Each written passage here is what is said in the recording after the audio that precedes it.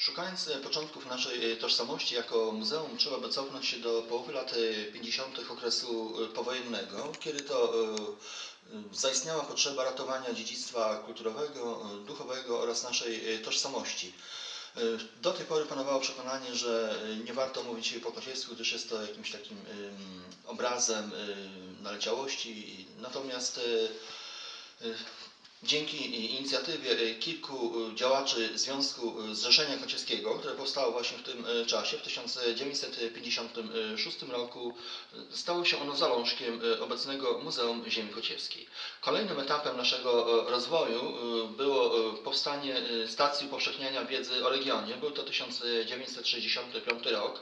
E, Pierwsze zbiory, e, które do nas e, trafiały, pochodziły od ofiarodawców prywatnych, od mieszkańców miasta i regionu, a miejscem, gdzie były one eksponowane, była Baszta Gdańska, w której na chwilę obecną mieści się dział historyczny.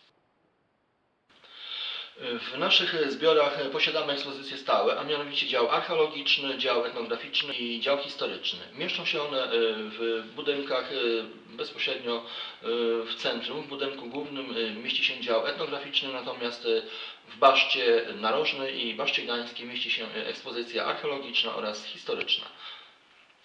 E, Posiadamy liczne e, kontakty krajowe i zagraniczne z wieloma muzeami i galeriami, zarówno w kraju, jak i za granicą. Mogę pochwalić się tutaj w tym miejscu, że do takich e, prestiżowych, najważniejszych to kontaktów to należy kontakt wieloletni z Galerią Łazienkowską w Warszawie, z Muzeum Zamkowym w Malborku, Muzeum Narodowe oraz Muzeum Archeologiczne w Gdańsku, jak również z kampsem e, krajobrazowy we Wdzydzach, to również mniejsze muzea, a również z zagranicznych to trzeba tutaj koniecznie wymienić Centrum Kultury Prus Wschodnich z Ellingen w Bawarii, jak również Muzeum Prus Zachodnich w Münster, a obecnie w Wolbeck.